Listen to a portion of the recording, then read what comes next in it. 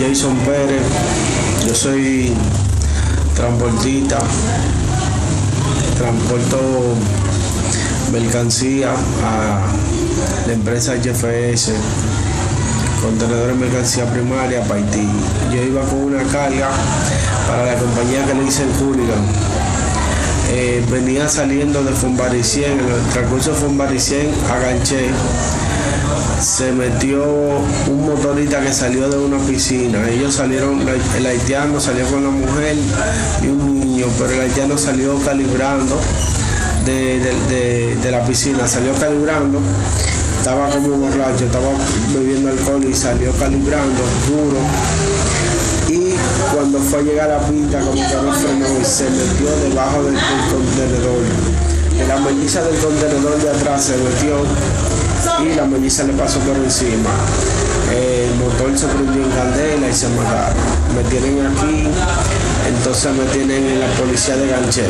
Me tienen que no se sabe qué es lo que va a pasar conmigo porque no viene nadie, no viene nadie de la empresa en representación de mí. La empresa no viene en representación y no hacen nada. Y los haitianos están allá afuera que me quieren matar. Estoy mandando este video para que hagan el auxilio de mí, las autoridades dominicanas, a ver qué va a suceder.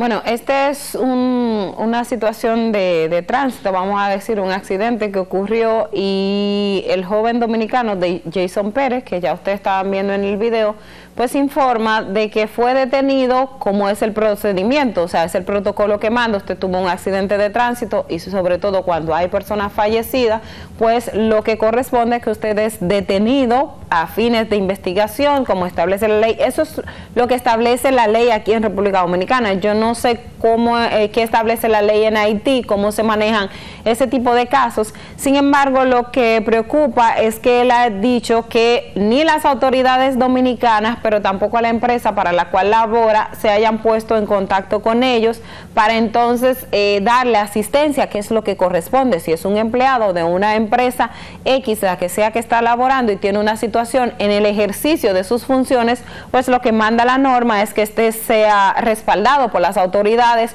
no solo de la institución a la que corresponde, sino también a las autoridades locales, que en este caso le corresponde a la embajada y al consulado dominicano en, en Haití o el personal diplomático que correspondan a la comunidad de Gantier, que es donde él dice que ocurrió el hecho. Él está en la policía de Gantier, o sea, eso no es tampoco muy lejos de, de, Santo Domingo eh, con el tema de, de, la frontera, o sea, Santo Domingo no la ciudad, sino de la frontera con República Dominicana, o sea, no es muy lejos donde él está y debería tener el auxilio de las autoridades. Nosotros estamos intentando hacer contacto con la pareja de este, de este dominicano que fue quien compartió el video, también envió unas notas de voz y hablamos con ella en la mañana, pues de primera mano ya nos informó que no han sido contactados y todavía no tiene ningún tipo de información respecto a qué va a pasar con su pareja que desde ayer estuvo detenido. Pues el video surgió, nosotros lo recibimos a través de los de los chats de los chats periodísticos,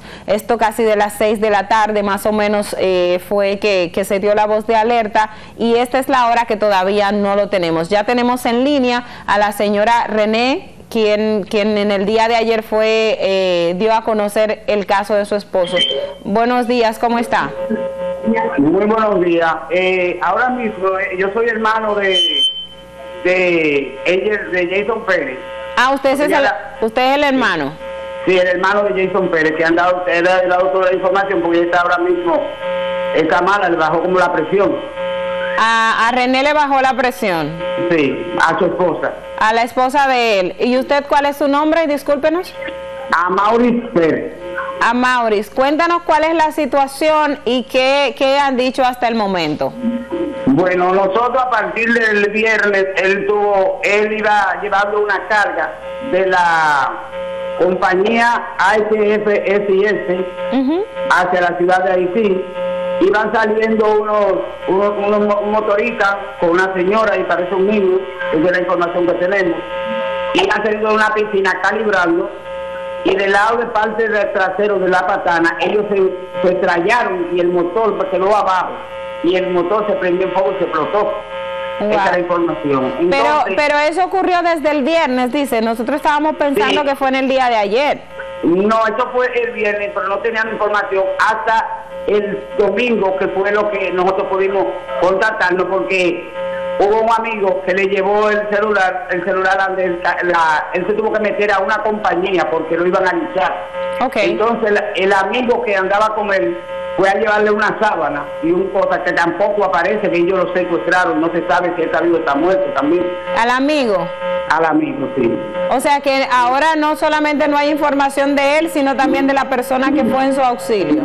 Sí, pero, la cosa que fue en su auxilio, pero entonces no es ni la compañía ni, ni, ni nada. Nosotros estamos pidiéndole al Estado Dominicano, al señor presidente Luis Abinader y a la Cancillería que por favor interceda en este problema porque ya tenemos tres o cuatro días que estamos en incertidumbre. Pues no sabemos en qué, en qué estamos parados realmente. Pero nadie de la Cancillería, ¿ya ustedes notificaron oficialmente a alguien de la Cancillería, a algún personal diplomático? No hemos confirmado a nadie porque nadie, no, eh, solamente el único apoyo que hemos tenido en este país ha sido la prensa dominicana que no nos ha dejado, que han venido varios canales de televisión aquí hacia el hogar, pero la Cancillería no, no, no lo han llamado al, teléfono, que se lo podemos dar por esta vía, también nuestro teléfono, que usted también se lo puede facilitar, la Cancillería del Estado, porque sea lo que sea un compatriota de nosotros, es dominicano. Denos, sí, por favor, dé el número para que si alguien de Cancillería está prestando atención o está viéndolos en este momento, para que no aleguen entonces que no tienen forma de contactarlo. ¿A través de qué número pueden llamarles? Al 809-449-3282. Repítalo, por favor. 809-449-3282. 3282. Sí. René Aquino o a Maurice Pérez. Eh, bueno, a Maurice, usted nos dice que el hecho ocurrió y que él se tuvo que refugiar en una en una compañía. En otra eh, compañía que no era la compañía de él, porque lo iban a luchar. Okay. Entonces, él, él, como él, cuando él, el caso pasó, él se paró realmente como un ser humano. Y se paró, al pararse, la, la manada de saliendo de la, de la piscina se le cayó atrás y él tuvo, lo refugiaron y le pero él teme lo que él, porque la última información que tuvimos sobre él es que él teme porque ellos la, la avalancha no se han quitado ni un segundo donde lo tienen a él apresado, porque ellos lo que quieren es lincharlo. Es decir, que donde él está resguardado, pero él, no él dice que estaba en la policía de Gantier y en ese escenario... Ahí, está, él está, ahí es que él está. Porque él vía WhatsApp mandó mensaje, ahí es que está. Y entonces ahí en ese escenario afuera hay personas que lo quieren linchar. Sí, hay un grupo de haitianos, no se quitan de día y de noche lo que quieren, entonces él lo que dice que él teme por su vida porque lo tiene, él lo tiene, dice que los policías ahí, están donde él está, donde lo tienen ahí detenido, ellos están como si nada, en cualquier momento y han intentado un par de veces penetrar para lincharlo. Eso es lo que nosotros tenemos por su vida. ¿Y cuánto? le, pedimos al gobierno de, de nuestro país que intervenga porque estamos desesperados. ¿Cuánto tiempo él tiene viajando a Haití? ¿Cuántos viajes ha hecho últimamente? años. ¿Con la misma compañía?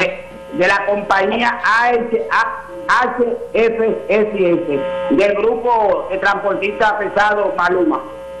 Y en este caso... Está ubicado, en el kilómetro 22 de la autopista Duarte. Y ellos no han dado la cara, ni han venido nadie por aquí, nadie ha dado la cara, ninguno ni han, no dicho nada, ni, ni si vamos, si vamos a, representarlo, nada, nada. Nosotros estamos en el aire. ¿Y él, él reside aquí en Santo Domingo también? ¿Eh? Él vive aquí en Santo Domingo, viaja desde... En, en la calle Flor del Sol, aquí en Lote y Servicio, Sabana Perdida. Él vive en Sabana Perdida. Sí. Entonces, la situación es que hasta el momento no han tenido contacto con nadie, ni de la embajada, ni de ninguna empresa. Estamos, estamos, aquí no se duerme, tenemos cuatro días desde que aquí no se duerme, aquí no se come, aquí nada. Y somos una persona que somos, de, una persona que él tiene dos niños pequeños, una de nueve y una de, dos años, que dependen de él. y eh, ellos están, están desesperados y su madre también que sufre del corazón está todo el mundo aquí. Juan, esperamos, esperamos que las autoridades puedan escuchar el llamado. Lamentablemente no tenemos más tiempo para seguir conversando con usted. Muchísimas gracias. Esperemos que se, que se solucione esta situación y que le den respuesta en lo inmediato. Señores, no muchas gracias a ustedes, pero realmente vuelvo y les reitero, valga la redundancia, que el señor presidente Luis Abinader, que él es una persona muy humanitaria, que interceda en este problema porque es bastante grave. Muchas gracias, muchas gracias. Señores, no tenemos tiempo para más. Gracias por estar con nosotros en La Cosa Como Es. Será hasta una próxima ocasión.